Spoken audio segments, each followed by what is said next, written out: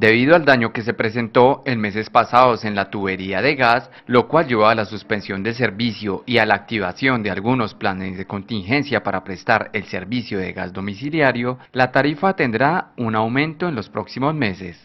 Bueno, digamos que este mes de septiembre vamos a tener el incremento producto del gas natural comprimido que se tuvo que tener para poder suministrarle al municipio de Yopal debido al daño que se dio en el gasoducto eh, hace ya mes y medio aproximadamente. Pero el incremento a nivel residencial puede estar en alrededor de unos 15% y alrededor del 55% para el sector comercial. Según la gerente de gases del Cusiana, el incremento no será significativo y se dará según el estrato. Bueno, digamos que el más significativo, estamos hablando de un estrato 5 y estamos hablando de aproximadamente 5 mil a 6 mil pesos más de lo que acostumbradamente él paga. ¿Sí? Cancela a gases de Cusiana.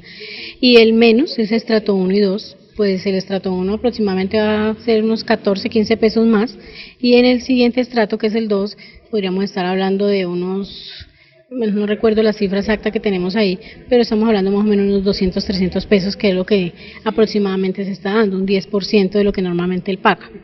Este incremento es por el costo que tuvo el gas utilizado para el plan de contingencia y será en la factura de los meses septiembre y octubre. Este incremento lo que está cubriendo es el exceso en precio de gas que se, se presentó con el Pozo Curiara y el comercializador Secolsa pues, gas, pues Yopal Casanare cuenta con una tarifa preferencial dada por Ecopetrol desde Pozo Floreña. Entonces, al comparar la tarifa Pozo Floreña con Pozo Curiara, pues hay una, una diferencia que supera el 100%.